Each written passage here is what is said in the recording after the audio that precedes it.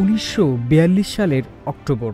The Lisbon মারু নামে একটি Japanese cargo জাহাজ আঠারোশো ব্রিটিশ যুদ্ধবন্দীকে নিয়ে হংকং থেকে জাপানের দিকে যাচ্ছিল। জাহাজটি যখন চীনের চেচিয়াং প্রদেশের চৌসান দ্বীপপুঞ্জের কাছাকাছি তখনই আক্রমণ করে বসে মার্কিন বিমান বাহিনী। হামলায় ডুবে যায় জাহাজটি। চৌসানের স্থানীয় জেলেরা জীবন বাজি রেখে ছুটে আসে জীবিতদের উদ্ধার করতে। এবং তারা তিন শতাধিক ব্রিটিশ বন্দীকে উদ্ধারও করেন।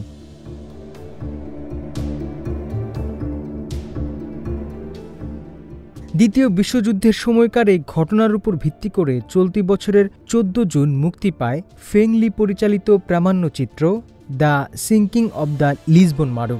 ডকুমেন্টারিটি নির্মিত হয়েছে প্রত্যক্ষদর্শীদের বর্ণনার উপর ভিত্তি করে, যেখানে তুলে ধরা হয় একদল সাহসী চীনা জেলের গল্প, যারা জাপানিজ বাহিনীর গোলাগুলির মধ্যেও উদ্ধার করে তিনশো চুরাশি জন ব্রিটিশ বন্দীকে। সম্প্রতি চায়না মিডিয়া গ্রুপ সিএমজিকে দেওয়া সাক্ষাৎকারে ফেংলি বলেন, লিসবন মারুর গল্পটা চৌসান দ্বীপের এক জেলের কাছ থেকে তিনি প্রথম শোনেন। এরপরই সিদ্ধান্ত নেন গল্পটি বিশ্ববাসীর সামনে তুলে ধরার। Then, you know, where they came from, why they are here. তারা কোথা থেকে এসেছিল? কেন এসেছিল? কি ঘটেছিল তাদের সাথে? এমন হাজারো প্রশ্ন আছে। হৃদয় বিদারক অনুভূতি পাবেন এই ডকুমেন্টারিতে। ওই বাসিন্দা ইউরোপ থেকে অনেক দূরে চলে এসেছিল। বলতে পারেন আমাদের একদম প্রবেশদ্বারে। এটাই ছিল স্পর্শকাতর বিষয়। বিস্তারিত শুনেছিলাম তীরে ফিরে আসা একমাত্র বেঁচে থাকা যুদ্ধবন্দী ডেনিস মার্লের কাছ থেকে। যার বয়স এখন আটানব্বই বছর। আরও ধারণা পাই চৌসান দ্বীপের জেলে লিনের কাছ থেকে। তিনি উদ্ধারকারীদের একজন ছিলেন। তারও বয়স চুরানব্বই পার হয়ে গেছে। বুঝতেই পারছেন সময় কতটা কম ছিল। মনে হয় এটি দ্বিতীয় বিশ্বযুদ্ধের মৌখিক ইতিহাসের শেষ জানালা।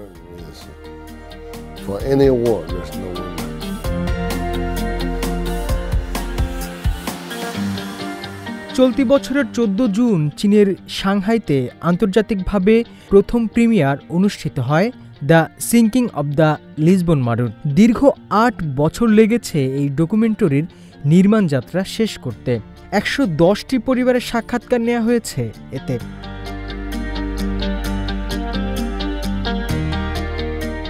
একশো তেইশ মিনিটের এই প্রামাণ্য চিত্রে রয়েছে চৌসান দ্বীপের বাসিন্দা চীনের বিশেষ প্রশাসনিক অঞ্চল হংকংয়ে থাকা ব্রিটিশ নাগরিক, আমেরিকান সৈন্য এবং জাপানিজ নাগরিকদের সাক্ষাৎকারক তারা প্রত্যেকেই এই ঘটনার সঙ্গে সম্পর্কিতদের বংশধর ও প্রত্যক্ষদর্শী।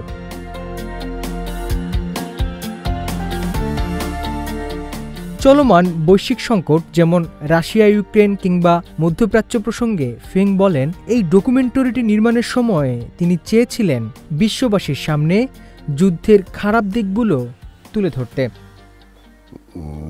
আমি মনে করি এটি সবার জন্যই একটি বার্তা যে যুদ্ধ কারও জন্যই জয় নিয়ে আসতে পারে না। প্রত্যেকটি যুদ্ধে বেসামরিক নাগরিক ও তাদের পরিবার ক্ষতিগ্রস্ত হয়.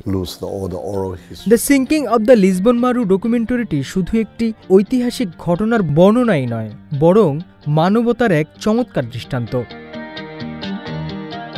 হোসনে মোবারক সৌরভ सीएमजी बांगला